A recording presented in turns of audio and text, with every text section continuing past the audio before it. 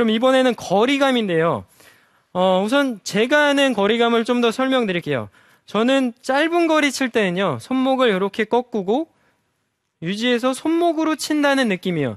꺾은 상태에서 그대로 이렇게 유지해서 손목만 사용한다는 느낌으로 쳐요.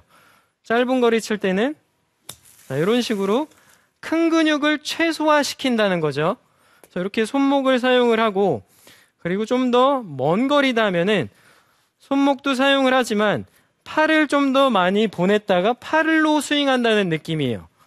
자, 팔로 보냈다가 팔로 이렇게 보낸다는 느낌으로 벙커샷을 해요. 그리고 좀 더 멀다. 멀다 하면은 보통 샌드위치로 한 멀다 하면은 40에서 50, 60, 70 뭐 이 정도까지 되겠죠. 요때는요. 팔도 쓰고 백스윙을 들면서 어깨를 좀 더 많이 돌렸다가 많이 돌린다는 느낌으로 샷을 합니다. 자, 보여드릴게요. 자, 이런 식으로 큰 근육을 더 쓴다는 거죠. 거리가 짧으면 이 작은 근육, 손목으로만 공을 친다는 느낌이고요. 그리고 중간 정도 거리가 된다면 팔을 좀 더 보냈다가 팔로 스윙을 한다는 느낌이고요. 물론 손목을 써도 팔을 써도 몸이 돌기는 해요.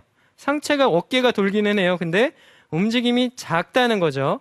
근데 좀 더 먼 거리 60m 이렇게 칠 때는 어깨를 많이 돌렸다가 많이 돌려서 거의 어깨는 풀 스윙 한다는 느낌으로 샷을 하면요.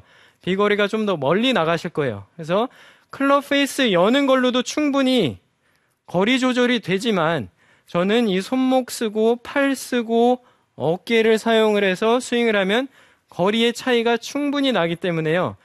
헤드는 그냥 한 45도 정도 열어놓은 상태에서 이렇게 샷을 해보시면은 여러분들도 어 이렇게 하니까 짧은 거리 앞핀일 때는 어 장지식 프로가 얘기한 처럼 손목을 쓰니까 괜찮네. 그리고 좀 한 10m, 20m 되면은 팔을 좀 더 스윙한다는 느낌으로 해주시고 더 먼 거리는 어깨를 돌렸다 돌린다는 느낌으로 해주시면은 거리 차이가 여러분들도 저처럼 나실 수가 있을 거예요.